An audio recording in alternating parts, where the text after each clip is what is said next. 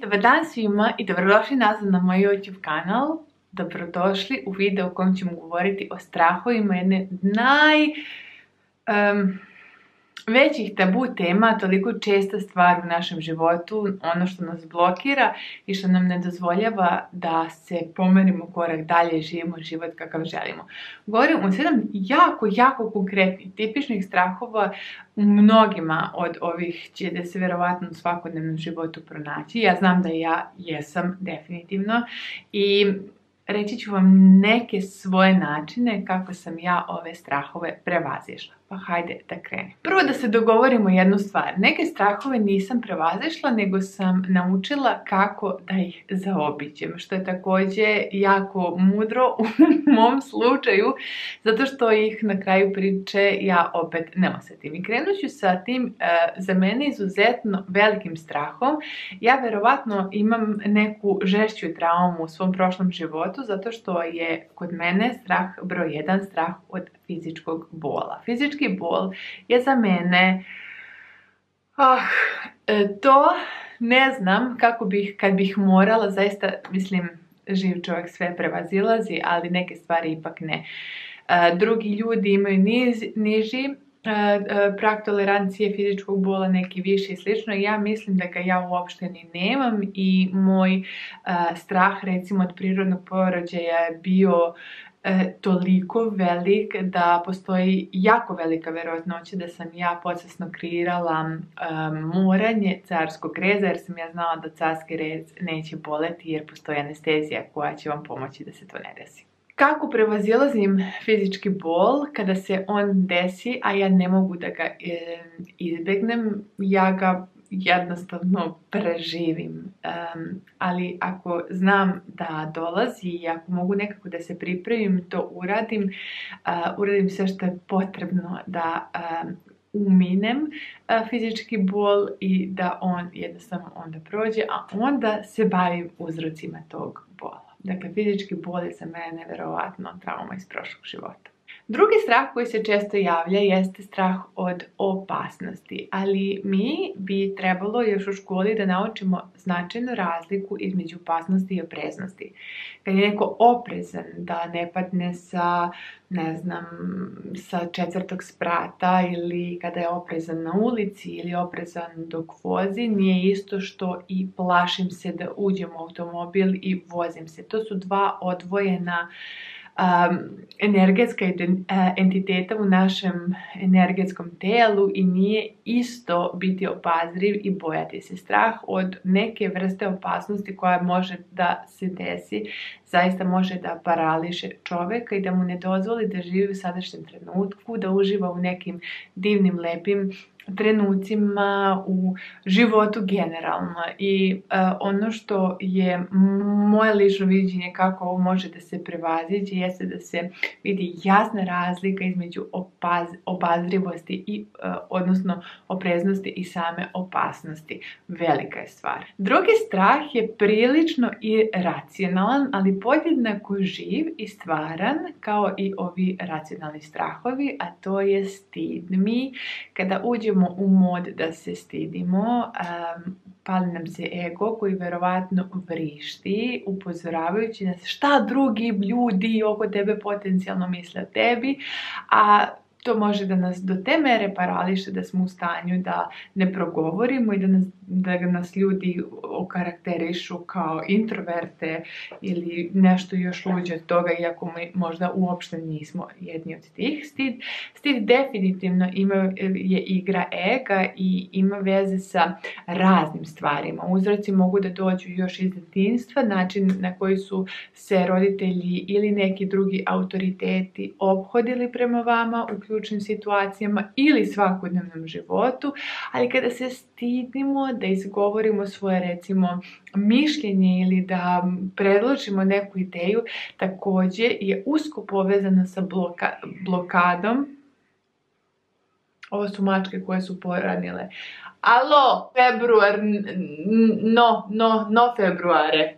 To verovatno ima veze sa blokiranom grlnom čakrom. Grlna čakra i naša čakra peta u sistemu e, čakri našeg tela koja nam omogućava da govorimo svoju istinu, svoje mišljenje i da se otvorimo kao autentična, živa, vibracijska, energetska bića. Četvrti strah je po mom ličnom mišljenju najveći strah koji čovjek može da osjeti, a to je strah od odbijanja. E sad, postoji jedna jako racionalno logična stvar i obrazloženje zašto mi se smrtno, odnosno bojimo odbijanja.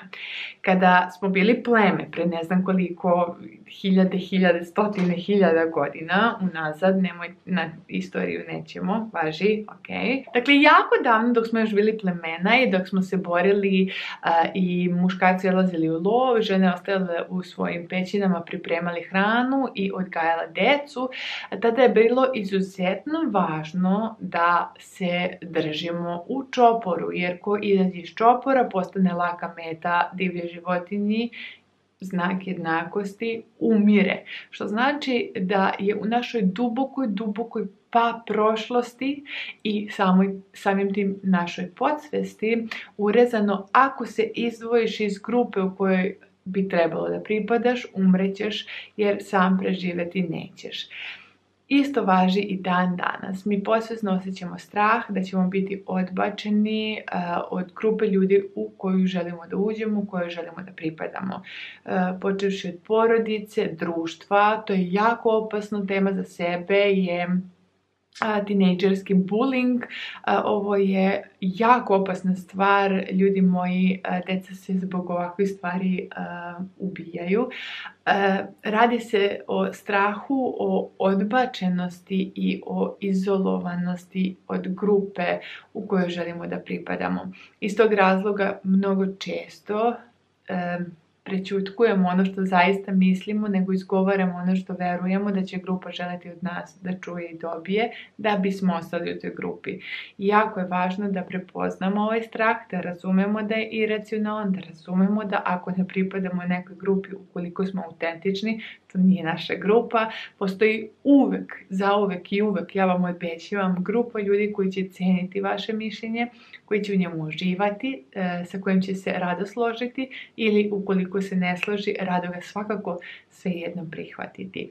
I a, ovaj strah kada budemo prevazišli, živet ćemo takvom harmonijom za koju nismo znali ni da postoji. Peti strah na listi ovih strahova je strah od usamljenosti, jako sličan k prethodnom, ali često se radi strah od usamljenosti u vidu partnerskih odnosa i ovo je razlog zašto posebno žene mnogo često ostaju u toksičnim vezama kako ne bi ostale sami. Veruju da ukoliko budu same, bit će izuzetno nesrećne, iako već to jesu i znaju šta je najgore što može da im se desi, to se već dešava, ali toliki strah od usamljenosti ih parališe da naprave korak, da istupe i da poslušaju svoju intuiciju i okrenu se od osobe koja ne ceni njihov, njihovu ličnost, mišljenje, emocije, prisustvo, vreme, bukvalno ništa išta. Strah od usamljenosti može da bude toliko velik da ljudi su u stanju da pomisle da li uopšte vredi njihov život ukoliko žive sami,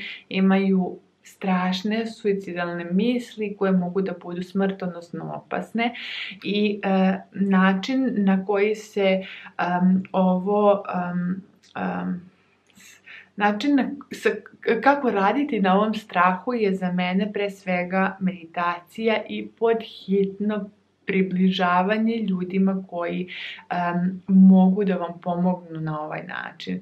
Iz koje god struke vi verujete i intuitivno osjećate to može da se desi. Mora da se desi ta prva pomoć i onda će početi da se od, odmotavaju da se kolosici odmotavaju. Česti strah je jako čest, a to je kontrola ili ti gubitak kontrole. Um, ja sam se zaprepastila koliki procenat ljudi na ovoj planeti su kontrol frikovi i žele da kontrolišu svoj život. Ajde što žele da kontrolišu svoj život, ali ljudi, vi želite da kontrolišete i tuđe živote. Kako će deca da razmišljaju, kako će deca da se osjećaju, kako će deca koje boje zidova da vole, koje boje odeće da vole. Do te mere kontrolišemo stvari da ih više ni ne primećujemo kao da je to kao naša kontrola, nego to se pa to je dobro za tebe, to se podrazumeva. I strah da se izgubi ta vrsta kontrola je doslovno strah, pa ja gubim svoj identitet. Ko sam ja ako ne odlučujem u vezi sa svim i svačim uvek i zauvek. Um, kada se odlože recimo, ne znam, letovi, putovanje ili slično, da li se zbog toga osjećate paralisano, šta sad, kako sad, propustit ću ovo, propustit ću ono, ovo se neće moći dohnaditi, ovo ovako, ili ste iz fazona, ok, strava, ide ne šta sad mogu da radim. Um, postoji, um, postoji lek za kontrolu, a lek za kontrolu je meditacija. Zapravo, za sve ove strahove meditacija može biti izuzetno moćna stvar, e, s tim što stvarno smatram da su neki strahovi do te mere duboki ukorenjeni da nam je potrebna ponekad i pomoć ljudi koji zaista znaju na koji način mogu da dođu do korena tog straha u našoj posvesti i da ga samo ako razmekšaju i on nestane. Ovi strahovi pre ovih su prilično ozbiljna stvar i a, ukoliko ste se prepoznali makar u jednom od ovih sedam strahova, znate da možete sebi pomoći ukoliko krenete da čačkate, kopate i zainteresujete se. Uvek je prvi korak ja želim da nađem rešenje i onda će rešenje samo po sebi doći. Setite se, rešenje dolazi pre problema, problem je nastao da bi rešenje dobilo svoj identitet i pun potencijal ostvarilo. Tako da ohrabrujem vas da krenete da meditirate, da kopate, da tražite rešenja i da se suočite sa svojim strahovima jer suočavanje je kao kada uđete u prostoriju koja je tama, u kojoj je mrtli mrak, a vi uđete sa svetlom. Tama nestane. Tako se dešava i sa strahom kada se sa njim istim suočimo. Vidimo se u narednom videu, do tad svako dobro i sad nam.